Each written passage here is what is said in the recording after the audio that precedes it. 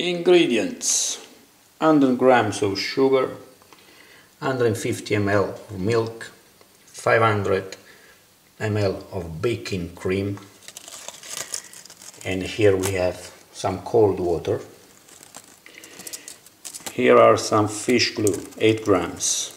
8 grams of fish glue. Looks like plastic. It's not plastic the word. So let's start. First of all let's add the fish glue to soak in the cold water for at least 15 minutes. So leave it there. And let's start. Let's add the milk. Baking cream. And sugar.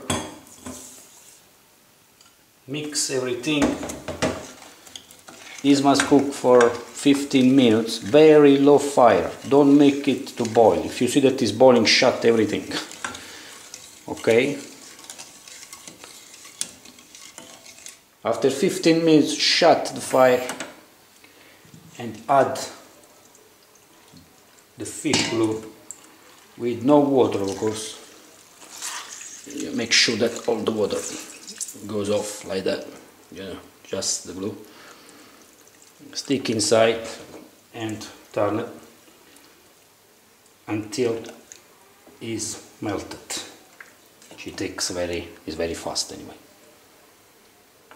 Okay it's finished. We are ready to fill up our portions. I think I made around 300-400 portion. Joking. Joking joking joking. You see? Carry on like that until your pan is finished at this point let's cool down everything and stick in the fridge for 6-7 hours. So see you tomorrow to see the final result. Here we go, after 7 hours it's time to garnish your panna cotta. I'm gonna use some chocolate to garnish that. You can add some caramel if you like, also Nutella, yeah, it's up to you. Let's put some of this. And here we go. Here we go. This is your panna cotta with chocolate. It's finished. This is the way I cook. I don't care about anybody else.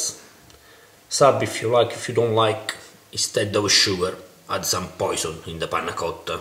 It's not sweet like sugar but for sure you will not see my video again see you in the next tutorial